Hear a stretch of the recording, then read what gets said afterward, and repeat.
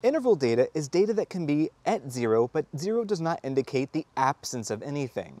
A good way to think about interval data is maybe when we collected these shells. When I collected shell number one, it was 90 degrees outside. Shell number two, it was 25 degrees. And shell number three was zero. And shell number four, it was negative 10. In this scenario, zero does not indicate the absence of any temperature, rather it's a value that is used on a scale from an infinite negative number to an infinite positive number. However, when we're working with ratio data, zero cannot be the absence of something. So for example, if we were going to use ratio data here, we might use the weight of the individual shells.